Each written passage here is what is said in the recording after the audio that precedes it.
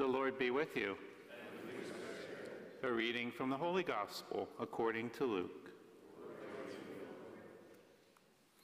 Filled with the Holy Spirit, Jesus returned from the Jordan and was led by the Spirit into the desert for 40 days to be tempted by the devil. He ate nothing during those days, and when they were over, he was hungry. The devil said to him, If you are the Son of God, command this stone to become bread. Jesus answered him, It is written, one does not live on bread alone. Then he took him up and showed him all the kingdoms of the world in a single instant. The devil said to him, I shall give you, I shall give to you all this power and glory, for it has been handed over to me, and I may give it to whomever I wish. All this will be yours if you worship me. Jesus said to him in reply, it is written, You shall worship the Lord your God, and him alone shall you serve.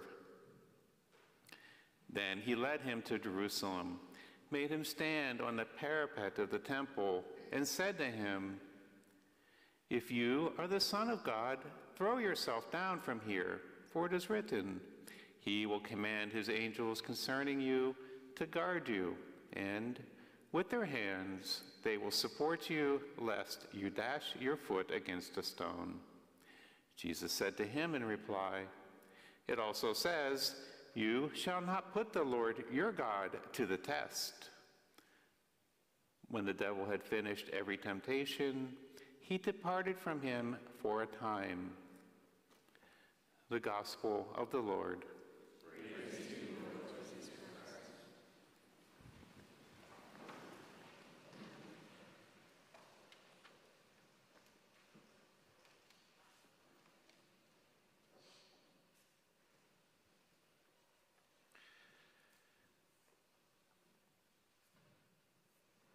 Let's ask ourselves a tough question today. Am I a better Christian now than I was a year ago? Am I holier? Am I more like Christ? Am I really becoming the saint that God created me to be? It's uncomfortable to ask questions like that, and that's good. Lent is a time for us to feel uncomfortable. Jesus loves us too much to let us be lazy. He is like a good coach, always encouraging us to grow, to improve. Unfortunately, many of us aren't growing as quickly or as constantly as we should. Professionally, maybe we're moving up. Academically, athletically, we might be making progress. But as Christians, not really. Many of us are still stuck where we have always been, on a plateau. The same temptations, the same falls, the same sins and we're still mediocre Christians. One of the reasons for this is that we don't go to the real roots of our selfishness. We try to follow Christ more faithfully, but we don't do so intelligently.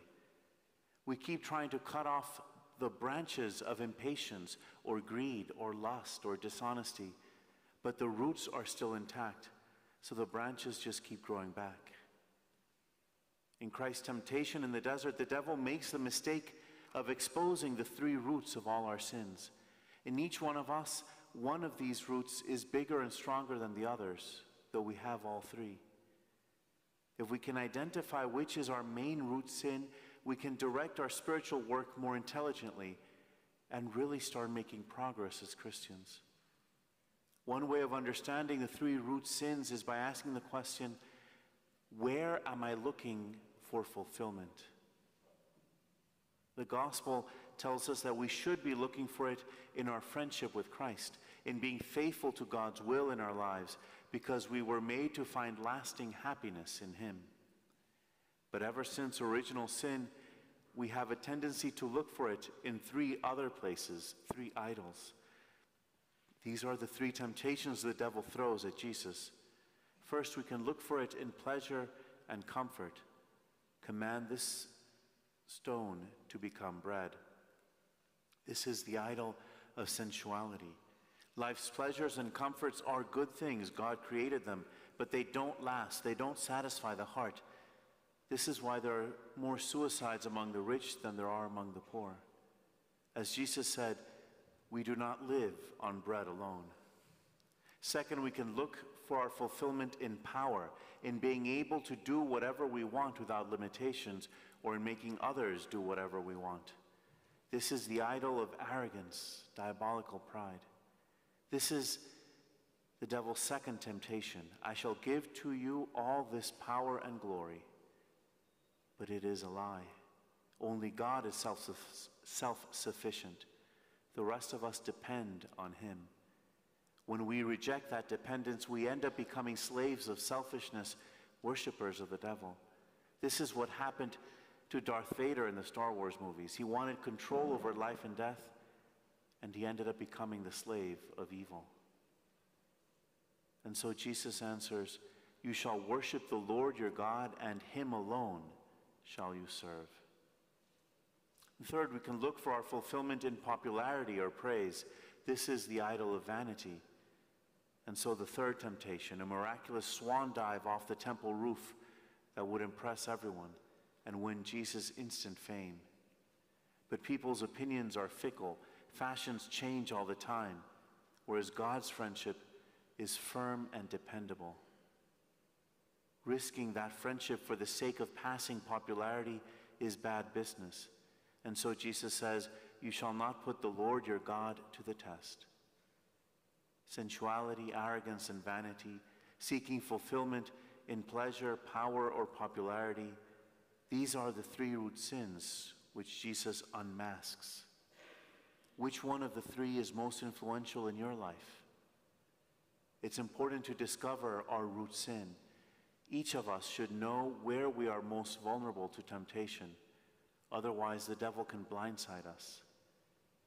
One of the most effective ways to advance on the path of this self knowledge is by going to confession regularly. Frequent, regular confession forces us to take stock of our sins and failings, to look honestly at all the manifestations of our selfishness, not just the big ones. And together with the guidance of the confessor, this self examination gradually allows you to get at the roots of what is holding you back. The recent popes have all gone to confession every week. Teresa of Calcutta did as well. It's like going, excuse me, it's like a good football coach. The Monday after every game, he sits down with the other coaches and the team and they watch the films from the game. They analyze where they were vulnerable and where they were strong. Then they're able to make adjustments to improve, to become the best they can be. Confession every couple of weeks or so is like that. The only difference is that the stakes are much higher, and the coach of our spiritual lives can fix our past mistakes as well as give us strength to avoid future ones. Do we really want to grow in our Christian lives, to become better followers of Jesus Christ, better witnesses of his kingdom, wiser parents, more courageous professionals, more loving spouses and friends? To do so, we must discover our root sin and constantly hack away at it. And there's no better way to do that than by making the commitment to come regularly to confession. And If you don't believe me during this Mass, ask Jesus and see what he says.